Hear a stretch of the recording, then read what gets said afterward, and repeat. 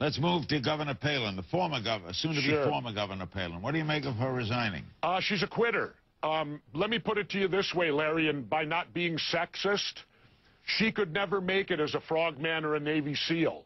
Because if you utter the words in BUD/S training, basic underwater demolition SEAL training, I quit, you're gone. I don't remember one person in my class that quit. I remember every person I graduated with. It, it offends me over the fact that she told the people of Alaska she wanted to be their governor.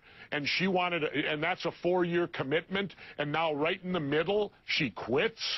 Well, if she's got plans of running for higher office, I would never vote for her because if it gets too hot in the kitchen, she's liable to quit. Do you think there's an underlying reason maybe we don't know? Well, I don't think she was put under any more scrutiny with the media than I was as an independent. My children were attacked in Minnesota. Uh, everything I did was put under the microscope. But the point is, Larry, you don't quit. When you make an obligation and you take an oath, doesn't it mean anything anymore? We'll be back with more of Jesse Ventura.